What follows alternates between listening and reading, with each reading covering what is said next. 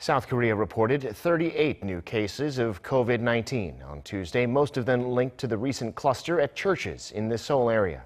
The concern is that the church cases could lead to another big wave because the people at the church in Incheon, where the cluster spread from, did not wear masks to their services, leading to the infection of more than 70% of the worshippers there. Of the 24 people infected at that church, 17 had no symptoms.